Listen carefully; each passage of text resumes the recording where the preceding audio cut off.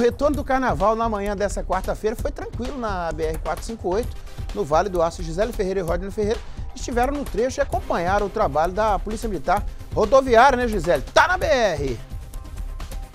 Nico, pois é, o retorno do feriado já começou. Eu estou aqui na BR-458, que é uma das saídas principais para os litorais. Por enquanto, a movimentação de retorno para casa está tranquilo e a Polícia Militar Rodoviária continua fazendo a Operação Carnaval, que começou na sexta-feira e termina hoje. Eu vou conversar com o Tenente Marcelo Vieira. Tenente, boa tarde. Como que está sendo esse retorno para casa no pós-feriado? É, boa tarde. Esse retorno né, no, no pós-feriado agora já estamos aí na quarta-feira. É, a gente entende que tem sido gradativo, né, e é o que a Polícia Militar ela espera, né, que as pessoas ela, elas voltem do, do, local de destino, né, é, para, para onde né, viajaram de forma gradativa ao longo do dia, para não causar aquele, aqueles bolsões, né, chamamos é, dessa forma, que é quando todas as pessoas né, que deslocam de determinada região voltam na, naquela mesma faixa horária é, de tempo. Então o retorno gradativo né, ele é muito importante né, para que não haja né, principalmente sinistro né, com congestionamentos e outras coisas mais. No que, no que diz respeito a acidentes e infrações de trânsito, o que, que a polícia conseguiu observar durante todos esses dias de feriado?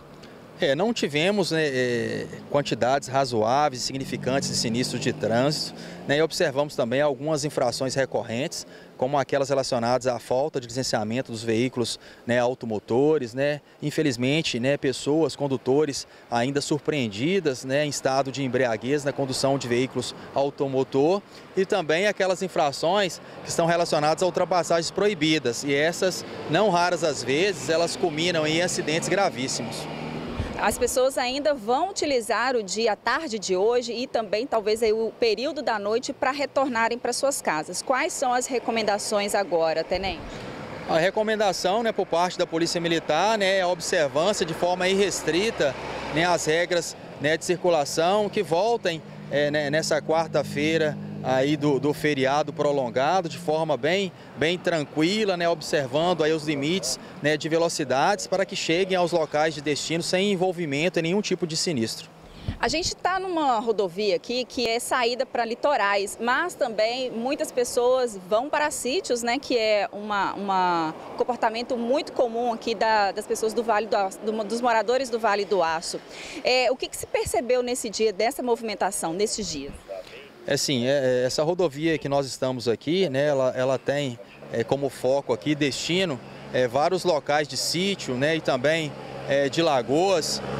Logo no início aí do, do feriado, a gente observou nesse mesmo ponto em que estamos aqui, né, um aumento significativo de pessoas né, que deslocaram para esses locais aí, né, com a finalidade né, de diversão e não né, é, é, observamos aí quantidades, né, como havia falado, significativas é, de sinistro, mesmo com esse aumento né, de veículos aqui é, na pista rodovia BR-458.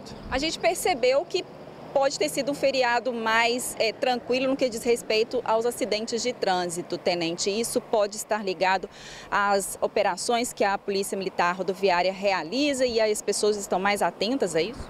Assim, é, a própria autuação de trânsito, é, é, ela é uma forma de prevenção aos sinistros. Né? Então, a Polícia Militar, ela, ela fez né, é, uma série né, de, de, de autuações, mesmo antes né, do, do, do, feriado, a gente trabalha com esse foco né, de prevenção também através da, das autuações. Então, as autuações, né, aqueles que são surpreendidos em algum tipo de infração, é, leva o condutor a, a, uma consciência, né? não é uma punição propriamente dita, mas uma forma educativa né, com que a Polícia Militar Rodoviária é, ela trabalha em suas ações e operações para trazer essa consciência de volta ao condutor e que ele não venha mais a cometer nenhum tipo de infração. Tenente, muito obrigada. Nico, eu volto com você aí nos estúdios. Gisele,